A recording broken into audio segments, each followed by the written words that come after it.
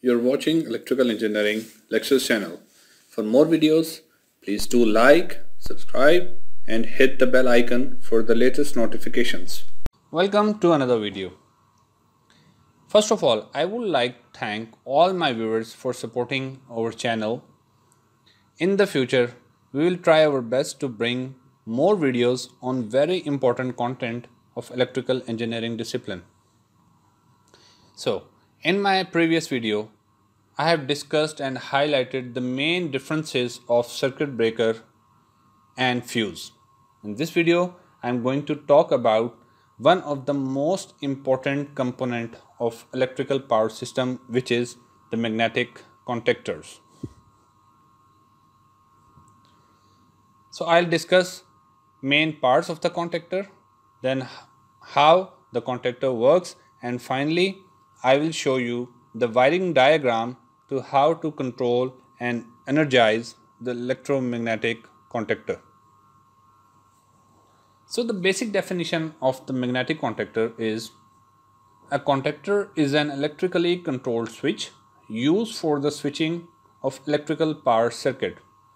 So the application of the contactor comes in every every machine in which an electrical motor is used. So whenever you have to switch on or switch off any electrical machine, you need a magnetic contactor. Unlike a circuit breaker, magnetic contactor does not protect the circuit from overload. It is only used to switch on the electrical power circuit. So now I'll discuss the main parts of the contactor. This is how a contactor looks like. This is a coil. Normally a coil on the contactor is labeled as A1 and A2. Another main part of the contactor is the main terminal or the main contacts of the contactor. The incoming main contacts are labeled as L1, L2 and L3. Similarly, the outgoing main contacts through which any electrical machine is connected are labeled as T1, T2 and T3 and this is a common standard. You will find this label on different manufacturers contactor. Next component is an auxiliary contact. This is labeled as 13 and 14 terminal number Normally the contactor comes with normally open contact. You can also have a normally closed auxiliary contact. This is a dry contact. What it means that whatever you apply on the input of this contact, you will have at the output whenever the contactor is energized. The next part is a moving part of the contactor which is also known as the plunger. Whenever a contactor is energized, the plunger moves inside the body. These are the main parts of a contactor. So let us talk about how the contactor works. First of all, these are the incoming main contacts of the contactor in which you have connected the main supply. These are the outgoing main contacts of the contactor on which an, an electrical motor is connected. These are the moving contacts which are connected through this moving core or the plunger. This is a coil which is wrapped around this core and this is a core which becomes an electromagnet whenever this coil is energized. And these are our auxiliary contact which is also attached with this moving plunger. So what happens whenever you apply the control voltage equal to the rated voltage of the coil. It will energize the coil. Whenever the coil is energized, it produces magnetic field. This magnetic field when interact with an iron core produces an electromagnet which then attracts another core which is connected with this plunger. So when it attracts the core towards itself, the plunger move down and it will short all the main contacts across each other. And after that an electrical machine will be supplied an electrical power through this contactor. At the same time, our auxiliary contact will also change their position. That is, a normally closed contact will now become open and our normally open contact will now become closed. And by using this auxiliary contact in our control circuit, we can perform different functions.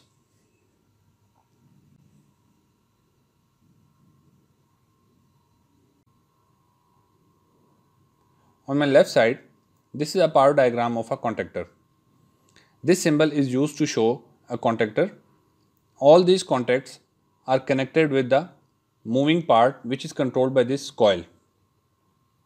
So you need to contact your main phases that is RST or red, yellow, blue with the incoming main contacts of the contactor and you need to connect the load or an electrical motor or an electrical machine with the outgoing main poles of the contactor. Between these two, between the contactor and the load, you need to connect an overload which is used to protect a circuit from overloading. This overload can be an electro-thermal or an electronic overload. So let us talk about the control diagram of this contactor.